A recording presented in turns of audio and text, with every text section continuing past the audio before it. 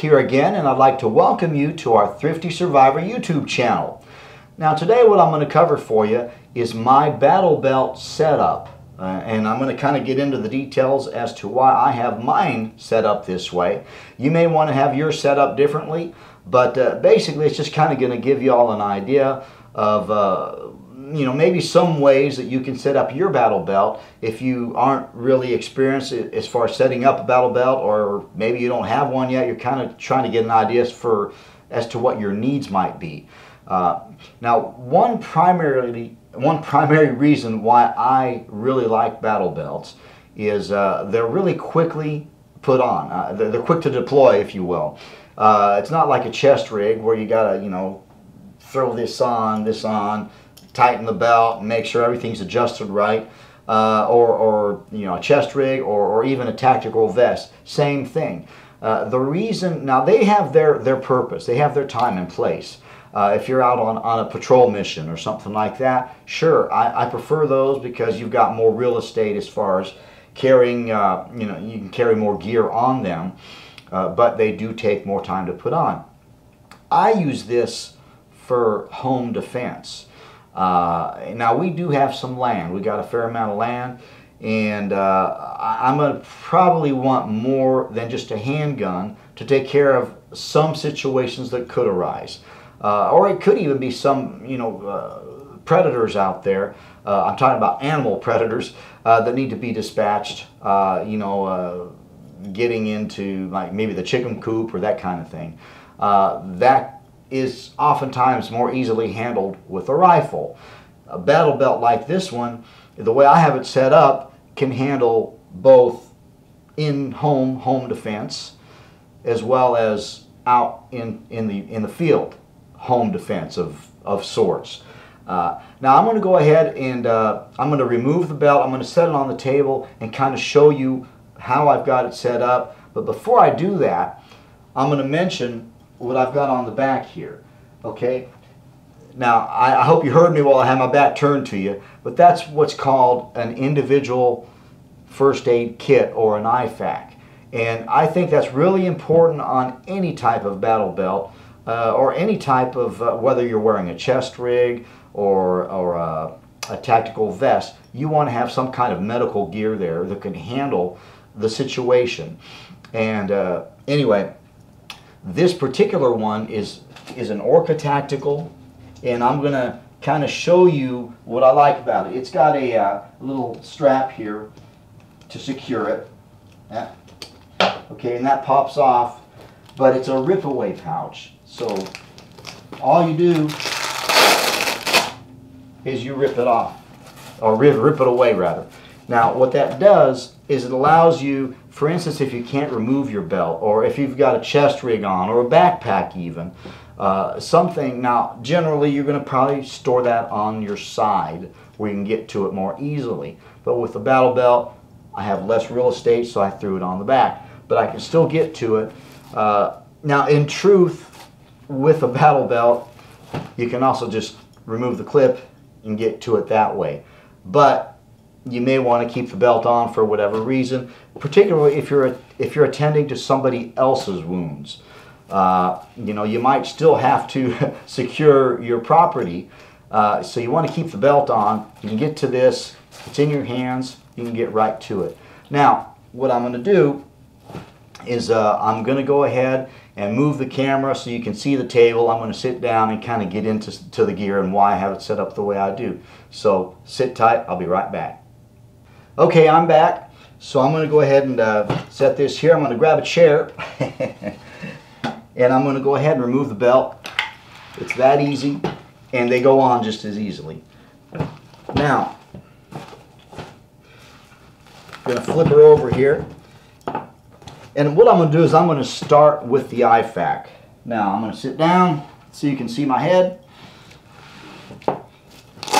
and basically just kind of quickly get into the contents. Again, this is an Orca Tactical. This particular IFAK pouch, now it doesn't come with the contents, but the pouch itself is going to run you under $19, $18.99 as I speak to you today on Amazon. Now, this particular one, what I like about it is it's got this little little thing, little uh, Velcro thing which kind of protects the zippers so you can have them up on top. And you just pull the zippers down and then it just pops open. Everything flies out of there, but it is properly secured. Now what I've got inside, and I'm going to try to, I probably should have moved the battle belt. First thing you want to grab is of course your, your nitrile gloves. These nitrile gloves, uh, people don't tend to be allergic to them. Plus they're, they're a little bit less prone to punctures. And I've got two pair there uh, in case one of them should get a puncture or if somebody wants to assist, I got a pair for each. Okay, and then in here, instant cold pack, which probably isn't the most essential gear. Probably some of the more essential gear here is going to be this bleed stop. Now, what I like about this is you can pick it up at Walmart and it can really be a lifesaver. What it is is a coagulating agent. It will coagulate blood much more quickly than it will do on its own. And if you've got uh, profuse bleeding, uh, you can pour this on the wound and it will, it, it'll just help that seal a lot more quickly. Now, uh, which brings up another item that I got in here, and that's a tourniquet. Now this particular one is a Recon medical tourniquet. And what I like about it is uh, I know that some of your EMTs are using this very brand, as well as some of your uh, uh, police uh, and I believe some of your uh, military units also, uh, maybe not, they might not be issuing these, but a lot of guys are getting these because it's much more affordable than the big name brand, which I'm not going to mention. Uh, as I'm speaking to you today, these I believe are going for, uh, I believe it's like uh, maybe $17, okay? Uh, just under $17 actually 16.99 16.98 or something like that. So I can actually get a pair of these and they're very uh, they've reached a point where they've been proven okay? And uh, now here I got your your HyFin chest seals. Now what this is designed to do is for instance if you've got an entry and exit wound uh, it could be a gunshot wound or a stabbing wound where well, anyway, this is a pair of them. Now, even just one of these can be useful. You can get these individually or as a pair. I prefer getting them as a pair because oftentimes, if it's a gunshot wound, a gunshot wound, you're going to have an entry and an exit. And uh, these are basically they got kind of like a, a Vaseline coating on one side. You throw it on there. They open up. They're actually each one of these packs opens up to about the size that you're seeing here. And there's two of them, one for the front and one for the back. Now if you got a lung uh, that gets punctured, uh, you're going to have to seal that off so the person can breathe. And anyway, I'm not going to get into the details of these, but good thing to throw in there. Uh, trauma shears. Now these are actually, I just picked these up at Walmart. Now I've got a better set in one of my other IFAKs that I actually prefer. But uh, these are actually pretty durable and they're designed to where you can just cut clothing off of the person so that you can access the wounds. Obviously, if it's up here, you're to have to either pull the shirt up or cut it off. Anyway, and just tweezers, uh, surgical uh, gauze here. These are uh, 5 by 9 so they're, they're pretty large.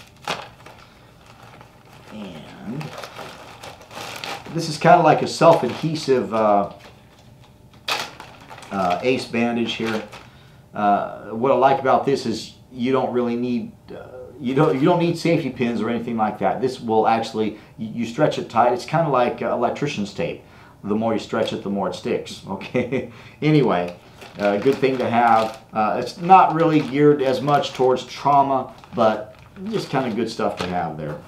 And uh, now we're getting into more of the minor stuff here, just uh, you know a little bit of gauze, rolled gauze. Safety pins, you never know, they could be handy. And this little pouch here basically just has the stuff that you can't get to stay in, in the pouches everywhere else. Uh, I got some, uh, some tape, you know, uh, basically surgical tape. Band-aids, uh, let me see here, antiseptic towelettes. Uh, now, it's, it's a good idea to clean your hands off before and after you treat somebody because you don't want to you don't want to hurt them or yourself. You don't want to catch, or you know, anybody catching anything that you don't want. Anyway, uh, I'm not going to get into all the stuff that's in here. Okay, just uh, just basically just wanted to show you what I have on the back of my uh, my uh, my battle belt. Now on the sides here, these are your Condor Tactical Kangaroo pouches. Now what I like about these, and I'm going to go ahead and uh, kind of tilt this up so you can see it better. What I like about them is on the back you've got your rifle magazines and on the front these are actually designed to hold pistol mags like, like I have here. Now I've only got one here right now. Usually what I'll do is I'll have at least two pistol magazines here. But uh, I've thrown, basically to kind of show you some options here, I've thrown a knife in here. These will hold a knife pretty well, okay? Excuse me. So, uh, just kind of show you there. Some people actually throw a flashlight in one of these.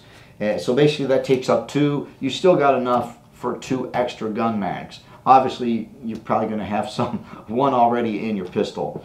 Uh, so you can carry quite a bit of ammo there. Now I've got a separate flashlight here. This is actually a Fenix, I believe. No, this isn't a Fenix. This is the pouch that came with the Fenix flashlight. And I'm using it here, holding that flashlight there. On the back, personally, I use AR-15, you know, for home defense. Uh, contrary to popular belief, they do not over penetrate any more than a 9 millimeter in a house, okay? Uh, a brick wall, which we got a brick house here, uh, it's not going to go through a brick wall. So uh, people outside don't have to worry if I'm taking care of business indoors. Anyway, uh, that just kind of puts that to rest. But uh, this has the ability to hold four AR-15 magazines, so that's 120 rounds there. And I guess that pretty much covers it. Uh, again, what I like about these battle belts is they're really easy to put on. You just it's just throw on a belt real quick. So if you hear a bump in the night, it doesn't take forever to get your gear on. Uh, and uh, now, personally, I keep the gun or I keep, actually keep an extra gun in a drawer in a nightstand. Depending on that, depending on the situation, you know, I might just grab that. But if it really, really gets bad, I'm going to throw this belt on. I've got my gun, I got everything I need, I got ammo, and I'm going to try to make my way to one of my rifles, okay? And uh, then I could take care of business, if it, particularly if it's out in the field, uh, you know, longer distance. Uh, you know, it, it, could be a coyote getting into our critters, our personal critters that we don't want to be harmed, or you know, you never know. It could be, could be other things, other other types of threats. Uh, anyway, long story short, uh, I can never make a long story short.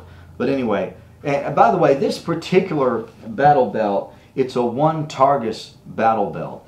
Uh, now, Condor also makes some good battle belts that are affordable. What I like about this one is it actually comes with the interior belt also. A lot of these belts, you got to be careful. If you order a battle belt like this one, a lot of them do not have the internal belt. Uh, this one came with everything for uh, under $33. It was $32.98. Uh, and the quality I would say is the same as Condor. It's very good quality. It's gonna it's it's gonna be able to handle the situation. Uh, these Condor kangaroo pouches, I like these a lot. These are each fourteen dollars and eighty eight cents. So you double that. That's what I got on here. I'm just trying to break down the pricing here. Again, uh, the the uh, Orca Tactical IFAK, uh, 18.99 I believe it was. Let me see here. I got the yeah, eighteen ninety nine. I got the prices written down there so I can see them. Uh, this one of the more expensive items that I have thrown on here is a Serpa holster. Uh, a lot of you are familiar with them. They're very good quality, uh, but I did since find a less expensive, uh, basically a clone to the Serpa, and the reviews that I've seen are real good on it. Uh, that particular one cost $18.99. Uh, so you compare the price to a Serpa, okay, and the they work in the same way. They're they're identical, really. Uh, they also come in other colors. But anyway, I just wanted to kind of throw that out there for those of you. And, and what I'll do is I will throw links down below uh, for you to take a look at any of these things that you might be interested in. Uh, by the way, uh, if you'd like to help support the channel, you can visit us at thriftysurvivor.com and uh, anything that you purchase through that, uh, we get credit for. Amazon does give us a little bit of kickback, a little bit of a kickback. It does not affect your price. Also, uh, if you just want to click on the links below, same thing. We get a little bit of a kickback that way. Or you go through any of our of our links that we provide, and let's just suppose from there you want to go do some other shopping. You find other things that aren't even on our website.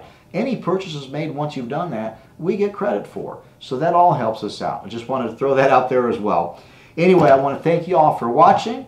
Please give us a big thumbs up, share, and uh, Again, like I said, visit our website if you'd like to.